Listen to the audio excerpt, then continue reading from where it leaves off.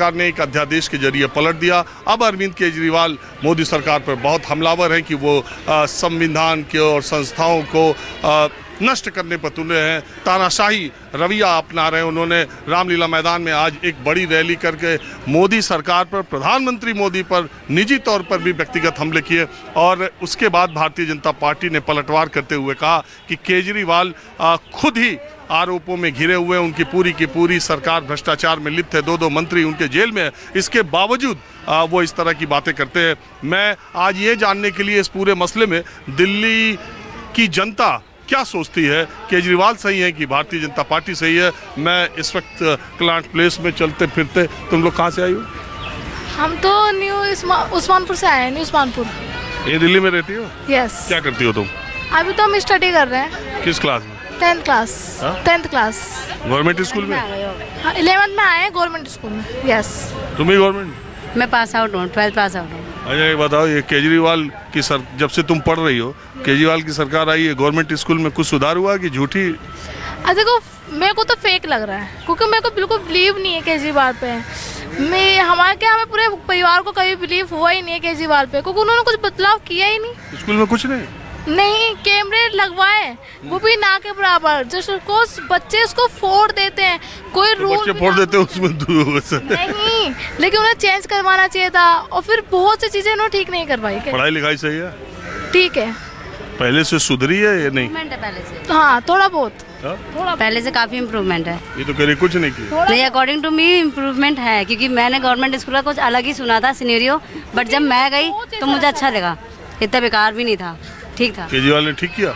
हाँ किया है ठीक। मैं तो सपोर्ट में हूँ कि हाँ उन्होंने ठीक किया है। क्योंकि काफ़ी चीज़ें चेंज हुई हैं। केजरीवाल के आने से काफ़ी चीज़ें चेंज हुई हैं। तुम तुम दोनों सहेली हो?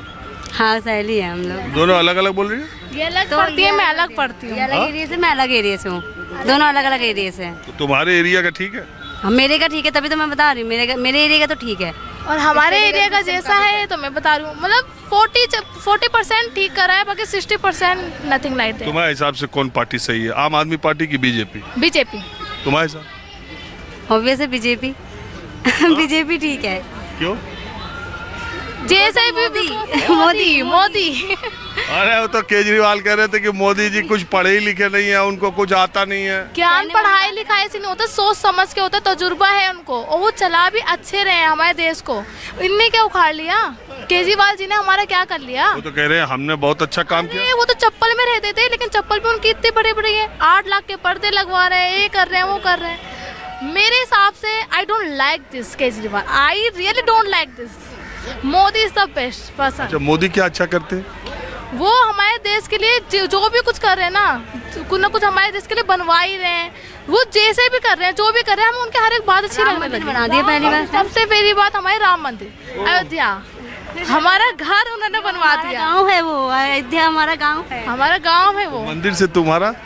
हम हम करते हैं, करते हैं वहाँ से। है अच्छा, दोनों अयोध्या की हो भी क्या? यस ऑफ़ कोर्स पिछली बार कब गई थी? लास्ट टाइम अभी तो गए थे दिसंबर में। हाँ जी। आइए अरे मैं तो राह चलते लोगों से बातचीत करते रहता हूँ। दो बच्चियाँ मिल गई थी स्कूल से तो उन्हीं से बात करने लगा। हाँ बोलिए। आप बताइए आप कहाँ रहते हैं? मैं हरियाणा। अच्छा आप दिल्ली घूमने आए? बहरहाल कोई बात नहीं। अगर ये अभी मैं ये बात कर रहा हूँ दिल्ली में जो केजरीवाल और बीजेपी में चल रहा है हाँ। रोज आप देखते हैं ना आरोप प्रत्यारोप उधर सुप्रीम कोर्ट की कॉन्स्टिट्यूशनल बेंच ने केजरीवाल जी को अधिकार दिया उधर अध्यादेश ले आके छीन लिया। अब ये कह रहे हैं कि ये लोकतंत्र का ये संविधान का गला घोट रहे मोदी जी। उधर वो मोदी जी और सरकार कहती है कि ये दिल्ली जो क्षेत्र है वो किसी राज्य के हाथ में पूरा पूरा दे दे तो बड़ा गड़बड़ हो जाएगा। यहाँ विदेशी राजनयिक रहते हैं सारी सुरक्षा इंतज़ाम है रहे। तो, एक एक तो आप क्या मानते हैं इन दोनों मसले में कौन सा पंजाबी में एक कहावत है। काला तितर नीले मोर। काला तितर नीले मोर। दोनों एक हैं। एक दूसरे की नूरा कुश्ती हो रही है। दोनों ही झूठ बोलने में एक्सपर्ट हैं। मोदी शुरू से लेकर पंद्रह लाख दे रहा था। वो या सारे दिल्ली में वाईफाई लगा रहा था सीसीटीवी कैमरे लगा रहा था। है ना? हाँ मंत्रा ने पंद्रह लाख देने बाद में जुमला कह दिया मोदी ने। इस देश को जो गुमराह करने में आज ये देश पचास साल पीछे चला गया पहले से तो वो इन्हीं की वजह से हुआ है? दोनों की वजह से। आप दिल्ली की बता दीजिए दोनों लोग मोदी केजरीवाल बीजेपी आप। बहुत ये एक एक सिक्के के दो पहलू हैं। उछालोगे ऊपर वाला मोदी होगा नीचे वाला केजरीवाल होगा। एक छोटा छोटा एक बड़ा है बस ये एक छोटा झूठा एक बड़ा झूठा है। तो आप किस पार्टी से के बारे में ठीक राय रखते हैं? देखो, पार्टी के बारे में पार्टियाँ सारी अपनी जगह है, लेकिन हम कहते हैं कि इस देश, ये ये देश बड़ी मुश्किल से आज़ाद हुआ था। 200 साल की गुलामी के बाद आज़ाद हुआ था। और इस देश के संविधान बनाने में इस, ये देश ना बहुत विविधतापूर्ण है। सबसे पहले आप भारत को समझिए। भारत जम्मू कश्मीर से लेकर कन्याकुमारी तक। यहाँ पर पहाड़ भी हैं, नदियाँ भी हैं, रेगिस्तान भी है, जंगल भी है, सब कुछ है। मतलब दुनिया में ऐसा देश है ही नहीं। इतना विविधतापूर्ण देश। यहाँ हिंदू भी है सभी धर्म है। हिंदू भी है मुस्लिम भी है सिख भी है ईसाई भी है हाँ, पारसी भी है। और जातियाँ भी सभी तरह के हर रंग का आदमी है नस्लें भी हैं हर नस्ल है। आपको ये देखिए मेरा दोस्त उत्तराखंड से आया है इसकी नस्ल देख लीजिए ये साथी इसकी नस्ल देख लीजिए मेरी सब अलग अलग है लेकिन सारे इकट्ठे हैं। विविधता में एकता है। और ये ये जो अब देश है, वो इसी तरीके से इसी खूबसूरती के साथ रहना चाहिए। लेकिन अब हो क्या रहा है? कोई जाति के नाम पर, धर्म के नाम पर दंगे कराए जा रहे हैं। इस देश का संविधान सबसे बड़ा है। इस देश का संविधान बचना चाहिए। शुरू से हो रहा है भैया तो कब आप हमसे रुकेगा बात कीजिए। कब रुकेगा? तीसरे के उसमें हाँ। गुंजाइश हमारे शो में ये दे, ये देश में ये कब रुकेगा ये दंगा फसाद? और ये जब हम रहना इकट्ठे है ये देश इकट्ठा है एक गुलदस्ते में आप ये देखिए आप इसको अगर चलिए आप कह रहे हैं एक सिक्के के दो पहलू मोदी और केजरीवाल है तो आपके हिसाब से कौन सा सिक्का सही है किसका? ये दोनों गलत है मैं तो इन दोनों तो सही कौन है? किसी में तो चुनना है जो है आपके सही देखो सही जनता तय करती है। जनता ही ने तो इन्हें जिताया है। जिताया ठीक है लेकिन उसके बाद आजमा लिया ना। दोनों दो दो बार आए दो बार मोदी आया दो बार केजरीवाल आया। हो सकता है हमने दोनों को वोट दिया हो हो सकता है लेकिन जब दोनों ने काम नहीं किया तो तीसरा आप विकल्प देखेंगे। अब चाहे राहुल गांधी आए चाहे मायावती आए चाहे अखिलेश आए चाहे कोई आए। राहुल गांधी में कोई उम्मीद है?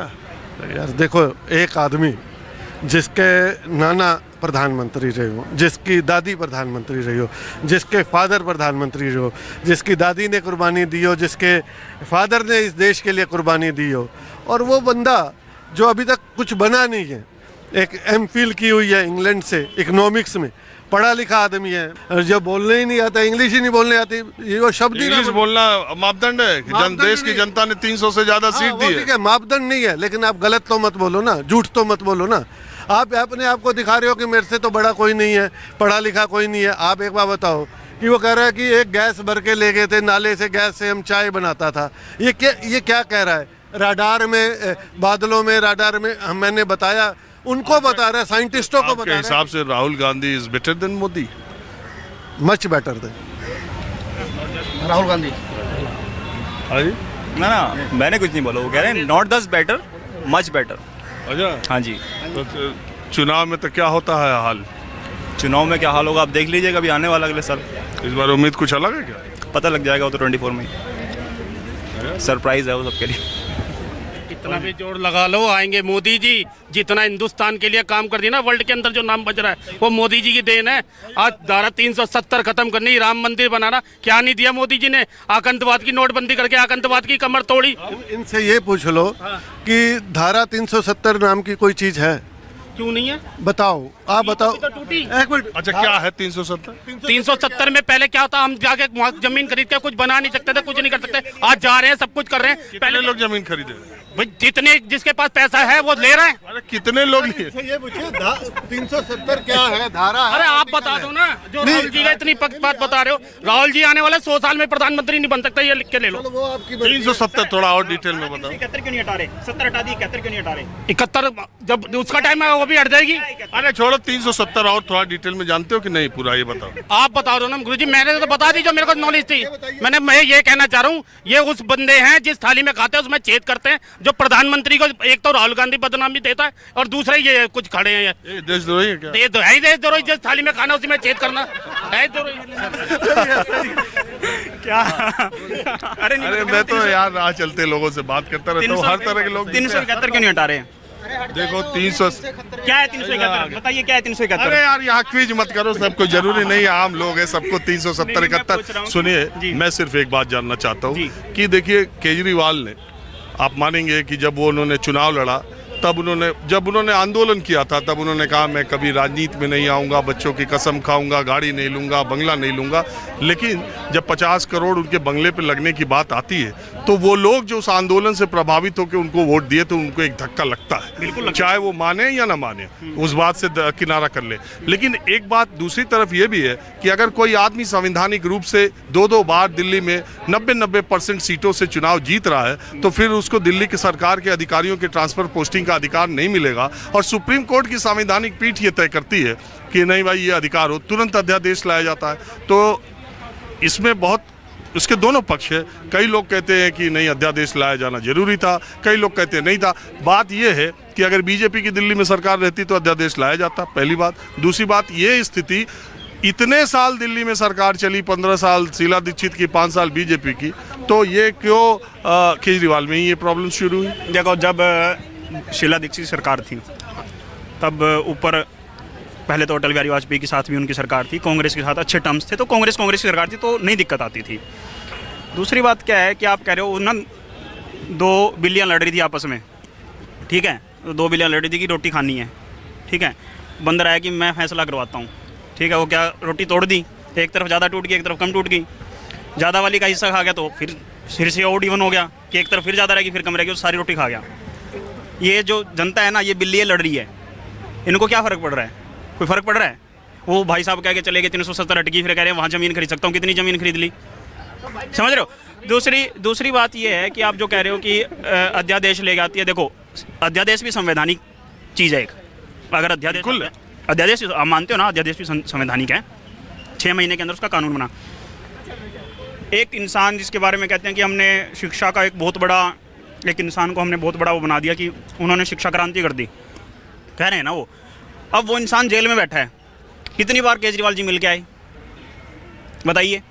संवैधानिक बात कर रहे हो आप? मिलने जा सकते हो ना। हिंदुस्तान के हर बड़े लीडर से जो अपोजिशन में बैठा है इन्होंने जाके समर्थन मांग लिया। आप पिछले छः महीने का उनको देख लो। वो हर स्टेट में घूम चुके हैं समर्थन मांगने के लिए कि आप अध्यादेश के खिलाफ जाओ खिलाफ जाओ। वो एक महीने में। अभी एक अभी महीने। अभी एक महीने में लगा लो। घूम तो रहे हैं ना वो। मांग रहे हैं ना वो समर्थन सबसे मांग रहे हैं ना। सही गलत की बात तो फिर वो जो राज्यसभा में होगा लोकसभा में होगा कानून बन के आएगा वो भी संवैधानिक ही होगा। वो चाहे कोई भी कर रहा हो ठीक है? वो जब अपने एक इंसान को ऐसे बरगला सकते हैं ऐसे छोड़ सकते हैं बरगला सकते हैं क्या छोड़ सकते हैं? उन्होंने छोड़ दिया। मनीष सिसोदिया की हालत आप आज देख रहे हैं। छोड़ दिया। वो तो परसों रो रहे थे रो रहे थे ना? छोड़ दिया ना केजरीवाल ने? केजरीवाल ने बोला एक को पकड़ोगे सौ मनीष सिसोदिया। बंगला खाली करवा दिया अगले दिन ही। कितने दिन जेल में पाल के छोड़ दिया। छोड़ दिया ना उन, उनको। अब एक बात बताओ जो इंसान अपने साथ लगते हुए आदमी को छोड़ सकता है जनता क्या चीज़ है? उनको सिर्फ़ और सिर्फ़ सत्ता और सत्ता के अंदर जो उनके पास जो अर्थ है। राजनीति क्या है? अर्थ पे तो शासन करना है। राजनीति क्या है? अर्थ पे शासन करने के लिए एक प्रतिस्पर्धा ही तो है। संसाधनों का संसाधनों का जो बंटवारा है उस पर तो अब उसी के लिए वो लड़ रहे हैं वो आपके लिए नहीं लड़ रहे हैं। आप बड़ा ध्यान से सुने कुछ बोले। सुन रहा हूँ खाली। मैं बोलूँगा नहीं। नहीं कुछ अपना विचार रखिए। कोई विचार नहीं हाँ? कौन कट्टर ईमानदार? ये तो इन इनकमिंग आउट गोइंग का बंद है। चलिए। हाँ अंकल। सलाम सर। क्या हाल है? बढ़िया सर आप सुनाइए। अरे यही। चलिए अब मैं आपको दूसरी जगह ले चलता हूँ। मोदी सरकार और बीजेपी पर हमला करने के लिए आम आदमी पार्टी और केजरीवाल ने रामलीला मैदान में 10 बजे से महारैली का आयोजन किया था। तो भारतीय जनता पार्टी भी पीछे कहाँ रहने वाली थी? पालिका मार्केट, पालिका बाज़ार तो आप जानते ही हैं। और आप देखिए, ठीक 10 बजे बीजेपी ने अरविंद केजरीवाल के जो बंगले पर विवाद है, उस पूरे बंगले का यहाँ पर मॉडल ही ले आकर के रख दिया और सेल्फी पॉइंट भी बना दिए कि केजरीवाल द्वारा जनता की गाड़ी कमाई के बावन करोड़ रुपए अपने भ्रष्टाचार के राजमहल पे लगाए गए। यानी एक तरफ़ केजरीवाल भारतीय जनता पार्टी पर अध्यादेश को लेकर के कर रहे थे और दूसरी तरफ़ उन पर ये देखिए उनके जो बंगले का जिसके ऊपर आरोप है कि इसमें आ, बीजेपी का कि बावन करोड़ रुपए लगे ये पूरा बंगले का मॉडल यहाँ रख दिया लोगों के दर्शनार्थ। और लोग इसको देखने के लिए आ भी रहे आप कहाँ से आए? मैं प्रयागराज की पावन धरती संगम नगरी से आया हूँ। क्या देख रहे हैं? ये जो देख रहा हूँ ये बहुत ही गड़बड़ सब सिस्टम है। ये केजरीवाल ने जो पैसे को बर्बाद किया है इस इस तरह से अगर ये बर्बाद करते रहेंगे तो आने वाले टाइम जो पब्लिक का पैसा है वो इस तरह से बर्बाद होते जा रहा है कि आप सोच ही नहीं सकते। केजरीवाल एक भ्रष्ट नेता है उसको हटा देना चाहिए दिल्ली वो तो आज देखे महारैली हुई उन्होंने कहा भारत हाँ? महारैली से कुछ नहीं होता जितना काम मोदी जी ने किया है आप चाहे जो योजना देख लीजिए इस धरती पे भारत में एक ऐसे ही नेता है जो भारतीय जनता पार्टी में प्रधानमंत्री मोदी जी हैं जो कि बहुत ही अच्छा काम कर रहे हैं और इस तरह के नेता सुनो केजरीवाल जी महारैली में क्या बोले मालूम? क्या बोल? 21 साल से मोदी जी राज कर रहे हैं आठ साल मेरा राज उनका काम मेरा काम दोनों को मिला के देख लो। कुछ नहीं इस समय केवल जनता केवल एक ही चीज़ मांगती विकास विकास पे ही काम कर रहे हैं मोदी जी। इतने हज़ारों करोड़ के टर्नओवर को इस समय मोदी जी ला रहे हैं और इन जैसे नेताओं ने इस तरह से प्रोजेक्ट में पैसे बर्बाद कर रखे हैं मतलब जिस जिसका कोई तुकी नहीं बनता। इसको क्यों बावन करोड़ सरकार बर्बाद कर रही है? कोई जो देख तो रहे दिल्ली की जनता तो उन्हीं को जिता रही है। जिन दिल्ली की जनता आज उनको जिता रही है। कल जब वो समझेगी इस चीज़ को क्योंकि ये बहुत बड़ा हब है। तो अगर दिल्ली की जनता ये चीज़ समझ ले कि दूसरे गाँव क्षेत्र में और बैकवर्ड जैसे जैसे आप समझ लीजिए प्रयागराज में इतना बड़ा काम हुआ इतने ब्रिज बने इतने पुलों को जोड़ा गया और भी बहुत सारा विकास हो रहा है। लगातार विकास चल रहा है। कहाँ के रहने वाले आप? बिहार से हम रहने वाले बिहार के रहने वाले। कोई दिल्ली का भी है यार सब मैं दिल्ली ही रहता हूँ और केजरीवाल जी ने पूरे युवा पीढ़ी को जो है बर्बाद करने का काम किया। उन्होंने पानी बिजली के नाम पे दारू हाथ में देने का काम किया। कलम के जगह पे रोज़गार के जगह पे उन्होंने दारू हाथ में देने का काम किया। दिल्ली के अंदर ढाई करोड़ से ज़्यादा की आबादी है। केजरीवाल जी ने कहा था कि हम ये आप ही लोग लगवाए हैं। हाँ हम लोग ने लगवाया है ये। हाँ, भाजपा के। हाँ जी हाँ भाजपा के हैं हम लोग हम लोग ने तो भाजपा पर बड़ा कहानी किस्सा सुनाया केजरीवाल जी ने। देखिए केजरीवाल सुने कि नहीं पहले? नहीं नहीं केजरीवाल जी ने जो किस्सा कहानी सुनाया वो तो 2011 में भी सुनाया था। उन्होंने अपने गुरु को ठगने का काम किया। अपने गुरु को उन्होंने कहा था कि मैं बेटा की कसम खाता हूँ मैं राजनीतिक में कभी नहीं आऊँगा। मैं बेटा की कसम खाता हूँ मैं मुझे कोई गा, गाड़ी नहीं चाहिए मुझे कोई बंगला नहीं चाहिए किसी प्रकार का कोई सुविधा नहीं चाहिए। उन्होंने तो बेटा का कसम खाया माँ का कसम खाया था। कि जहाँ भगवान राम का मंदिर बन रहा है वो मंदिर नहीं बनना चाहिए। वहाँ स्कूल कॉलेज बनना चाहिए। और सबसे पहले दर्शन करने के लिए दिल्ली रहते हैं? हाँ जी। आप दिल्ली रहते हैं? हाँ जी। केजरीवाल ने स्कूल कॉल अस्पताल में कुछ अच्छा किया? कुछ भी नहीं किया है। सिर्फ़ उन्होंने दिल्ली की जनता को ठगने का काम किया है। फिर बीजेपी हार क्यों जा रही है दिल्ली में बराबर? बीजेपी हार नहीं रही है। बीजेपी का जो वोट परसेंटेज है वो पहले की तरह आज भी है। सिर्फ़ कांग्रेस कितना विधायक है बीजेपी का? नौ विधायक विधायक है। हाँ नौ है। नौ है अभी है हमारा नौ है। इसमें कुछ उम्मीद देखो। 25 में पूरी उम्मीद है भारतीय जनता पार्टी आएगी उससे पहले 24 में माननीय प्रधानमंत्री नरेंद्र मोदी जी आएँगे। चलिए आप आप भी भाजपा ही जी ये लगाने के पीछे कोई कारण? सही मॉडल लगाए एकदम। देखिए, ये नरेंद्र जिस तरीके से अरविंद केजरीवाल ने दिल्ली की देश की जनता का यहाँ का पैसा जो ठगने का काम किया, इस तरीके से देख रहे हैं कि शीश महल बना है और जो है 25-30 लाख रुपए की आप जो है उसकी टेबल जो है, ब्रेकफास्ट की टेबल आप बना रहे हो। करोड़ों रुपए की आपने करोड़ रुपए की टीवी लगाई। आपने जो घर में जो मैन्यू जो अरे तो लोग कहते हैं कि मोदी जी भी तो बीस हज़ार सेंट्रल विस्टा पे खर्च कर रहे हैं। भाई आप ये कह रहे थे कि मुझे दो कमरे चाहिए दो कमरे से ज़्यादा मुझे चाहिए ही नहीं है मुझे मैं क्या करूँगा? मैं न गाड़ी लूँगा न बंगला लूँगा न घोड़ा लूँगा मैं अपने बच्चों की कसम खा रहा हूँ। आज भाई अरविंद केजरीवाल जी भूल रहे हैं आपने अपने बच्चों की कसम खा गए और आप सब सुविधाएँ ले रहे हो। चलिए कुछ आप लोगों से बात करते हैं। आप किसी पार्टी के तो नहीं है? नहीं भैया मैं किसी पार्टी का नहीं हूँ। दिल्ली में रहते हैं बाहर से? नहीं मैं अलीगढ़ रहता हूँ। अच्छा अलीगढ़। एक बात बताइए केजरीवाल बीजेपी का दिल्ली में जो चलता रहता है वो आप देखते हैं? नहीं भैया मैं नहीं देखता जो जो ये कुछ भी नहीं देखता मैं जो है। अच्छा आपको क्या लगता है ये केजरीवाल जो बात कहते हैं और जो बीजेपी उनके बारे में आप कौन सच बोलता है आपको क्या लगता है? मुझे क्या मालूम राजनीति है इनमें क्या क्या सच बोलते हैं क्या झूठ बोलते हैं कुछ मालूम ही नहीं पड़ता।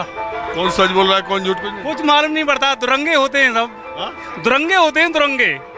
सब? सब दुरंगे हैं जितने नेता हैं सब दुरंगे हैं। कोई बेरोजगारी और उस पर तो कोई बात करता ही नहीं महँगाई पे बात नहीं करता सब अपनी अपनी बातें करते हैं। कैसे मसला सुलझेगा कौन आएगा? अब क्या पता कौन आएगा? किसी नेता से कोई उम्मीद आपको लग रही? है मुझे क्या मालूम सर मैं तो आम आदमी हूँ रोज कमाता हूँ रोज खाता हूँ। मुझे क्या मुझे तो वही करना है जो करना है। ये सरकारी स्कूल से? नहीं प्राइवेट स्कूल से किया? तो ये केजरीवाल जो शिक्षा और अस्पताल के बारे में चर्चा करते कुछ काम किए? अच्छा। ज़मीन पे तो नहीं दिखाई देता है कि उन्होंने कुछ काम किया है। ठीक है। जैसे कि बचपन में कहानियाँ हुआ करती थी, हम सुना करते थे कि हमारे दादा परदादा कहते थे, हम बहुत मेहनत करके पढ़ाई करने आते थे, आठ दस किलोमीटर चल के आते थे। आज के तारीख में वो प्रोपागेंडा काम कर रहा है अर्बन वोटर्स के तरफ़। ठीक है? तो अर्बन वोटर जब ये सुनता है कि स्कूल हमें बहुत नज़दीक मिल गई, स्कूल की व्यवस्था बहुत अच्छी हो गई तो उससे वो प्रभावित होता है। जबकि ज़मीन पे वो बस एक प्रोपागेंडा है। जी। आप भी यही मॉडल देख रहे थे क्या? नहीं हम आए थे ऐसे ही आप कहाँ की रहने वाली? दिल्ली से। यही की?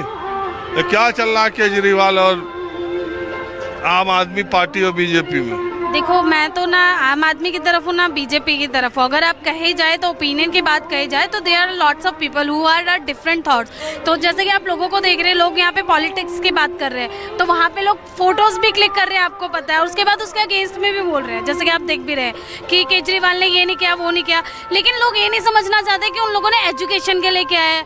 या फिर अगर आपके एजुकेशन की बात करें, किसी भी पर्टिकुलर छोटे से छोटे बच्चे थे।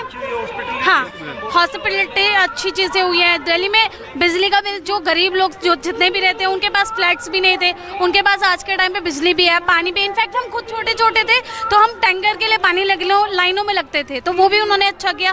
There is lots of people there different things और there is lots of way to introduce yourself front of any people ठीक है?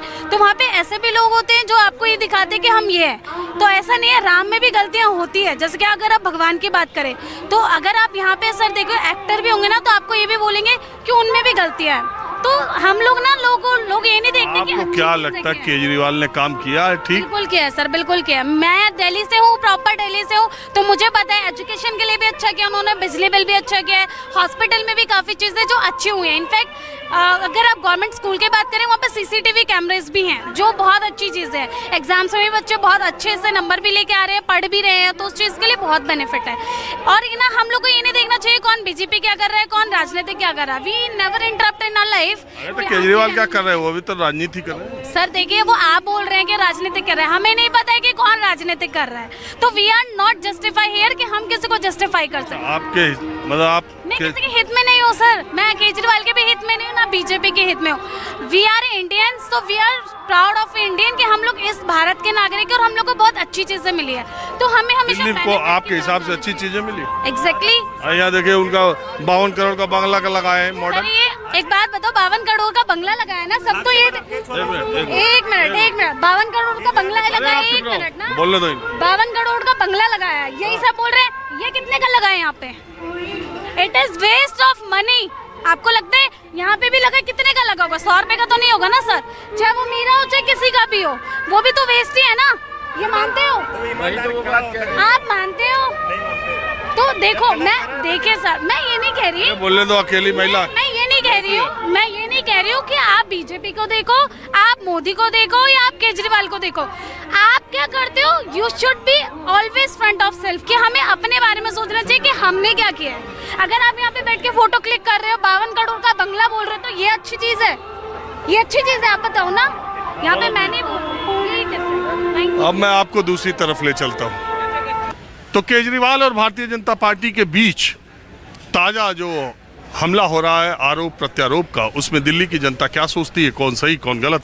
ये मैं राह चलते लोगों से, क्योंकि आज केजरीवाल ने कुछ भी कोर कसर नहीं छोड़ी। एक तो अध्यादेश को समझाने के लिए उन्होंने आज कपिल सिब्बल को अपने मंच पर जगह दी, जो कि निर्दलीय सांसद हैं, राज्यसभा के सपा समर्थित सांसद हैं। उन, उन्होंने अपने मंच पर बुलाया था कि दिल्ली अध्यादेश, जो अध्यादेश सरकार लाई है, उसको वो वहाँ आए लोगों को समझाएँ। आप थोड़ा सा टेप रिवाइंड करें तो जब ये भ्रष्टाचार के खिलाफ आंदोलन चल रहा था, तब अरविंद केजरीवाल की नज़र में अगर मनमोहन सरकार का सबसे बड़ा कोई विलन था तो कपिल सिब्बल थे। लेकिन अब हालात बदले हैं हवा बदली है तो अब कपिल सिब्बल केजरीवाल के मंच पर बैठे हैं और सार्वजनिक तौर पर केजरीवाल उनका इस्तकबाल कर रहे हैं और उनका अभिनंदन कर रहे हैं। हमारे साथ कुछ और लोग हैं। आपका नाम क्या है? हसनैन नकवी। नकवी साहब दिल्ली रहते हैं बाहर रहते दिल्ली रहते हैं। ये जो चल रहा है आम आदमी पार्टी और बीजेपी में सब सुनी रहे हैं सब देख ही रहे बताने की कोई ज़रूरत नहीं। अब तो हर मिनट लोगों के पास मोबाइल पर खबरें आई जाती मैं फॉलो तो नहीं कर रहा लेकिन आप बता रहे हैं तो ऐसा कुछ चलता रहता ही है वो चल ही रहा होगा। तो आप बताइए क्या पूछ रहे हैं क्या है? कौन सही लगता है आपको? इन ओवरऑल हाँ। मुझे केजरीवाल में तो कोई बुराई दिखती नहीं रीज़न कि बहुत अच्छा अ, काम कर रहे हैं मेरे ख्याल से तो। क्योंकि काफ़ी सारी महिलाओं को जो एक सिरे से बदरपुर से चलती हैं और पंजाबी बाग तक फ्री आप मैंने थोड़ा नोटिस करा है पिछले दिनों बसेस में ऑक्यूपेंसी जो है वो फिफ्टी परसेंट के करीब रहती है। तो एक बहुत बड़ा एक सौगात कह सकते हैं। स्पेशली मर की बिजली फ्री पानी फ्री औरतों को आ, ये बहुत अच्छी बात है बस फ्री। तो यही तो मोदी जी कहते हैं कि रेवड़ी बांटते हैं रेवड़ी बांटते हैं इससे तो कोई मिलता है सब कुछ। वही थोड़ा सा हक जनता का भी है। थोड़ा सा हक है जनता का या नहीं? या वो कैंटीन में सब रसगुल्ले खाते रहें फ्री के और वो फ्री के हवाई जहाज़ करें और सब कुछ? तो जनता के लिए थोड़ा बहुत कर रहे हैं। बाकी ओवरऑल जो डेवलपमेंट था जैसे रोड्स वगैरह का हिसाब होता था फ्लाईओवर कितनी तेज़ बनते थे शीला दीक्षित के टाइम पे वो थोड़ी सी मुझे लगी है कमी। आपको महसूस कर सकते हैं थोड़ा वो काम मन, हल्का पड़ा। अच्छा ये जो आरोप लगाते हैं कि मोदी सरकार अब लोकतंत्र बचाओ अब संविधान बचाओ सब खतरे में है आज से संविधान बचा होता रहा ये हमेशा से होता होगा। मेरे ख्याल जब इंदिरा गांधी थी तब उनके खिलाफ सब लोग थे, थे आज ये पावर में है तो इनको काम करने दिया जाए मेरे ख्याल क्योंकि इमेज तो मैं मानता हूँ थोड़ा बहुत अच्छी हुई है।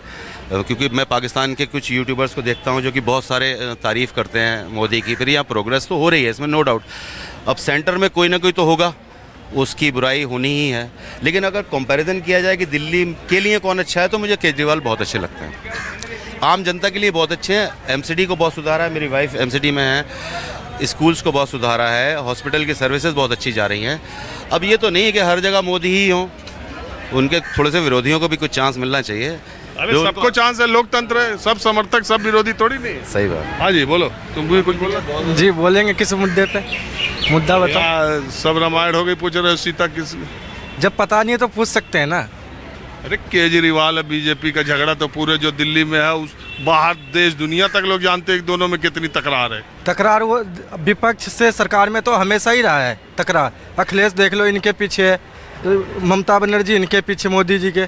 और ये केजरीवाल इनके पीछे ये सारे इनके पीछे पड़े हुए हैं। कु- होता कुछ नहीं है। कहते तो है कि मोदी जी सबके पीछे पड़े हुए नहीं।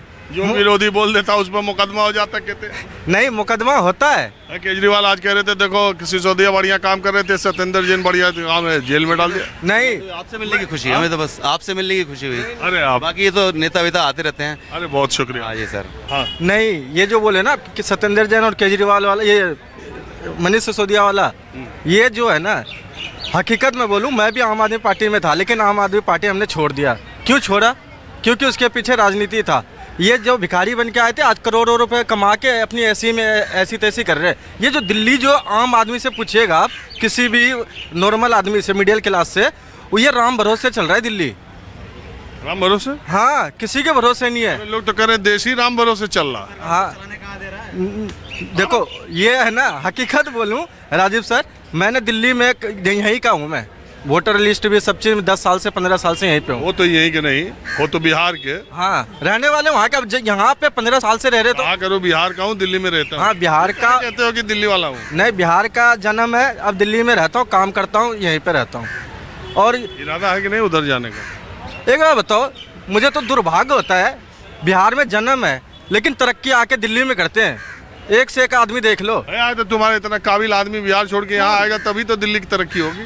बिहार वहीं रुके होते तो उधर की तरक्की होगी बिहार बिहार में तरक्की करवाने वाला सरकार कहाँ है? तेजस्वी यादव नीतीश कुमार तो पलटी पे पलटी मारता है क्या भरोसा करे उस पर बीजेपी भरोसा की इतने दिन यार तुम भी कर लेते। नहीं नहीं बीजेपी के जब इसके टाइम आता है ना कि हाँ मुझे इससे फ़ायदा है तब उनके पास ले लेता है। हाँ जी। अरे आप चलेगा हाँ बताओ तुम कहाँ से हो? यूपी से। कहाँ से यूपी में? संबल।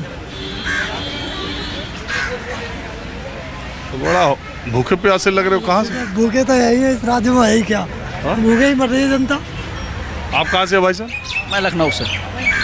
यही रहते हैं? हाँ यही रहते हैं। यही मैं आम लोगों से राय मशवरा करता रहता हूँ चलते फिरते लोगों से। बिल्कुल बिल्कुल मैंने देखा है आपको न्यूज़ में देखा है मैंने। तो बस ऐसे ही मैं सवाल पूछता हूँ लोगों, मैं जानना चाहता हूँ लोगों के दिमाग में क्या चलता है। अभी जो केजरीवाल या मोदी या बीजेपी ये चल रहा है ना कि हमको काम नहीं करने देते, हर चीज़ में अड़ंगा लगाते हैं, योगा का क्लास शुरू कर दिया, हमको एलजी साहब। तो इस पर आम लोग सोचते क्या है? जी, देखिए, मोदी जी जो कर रहे हैं, बिल्कुल सही कर रहे हैं। अब उसको चाहे जो कहें, लेकिन मोदी जी देश का भला कर रहे हैं, विकास कर रहे हैं।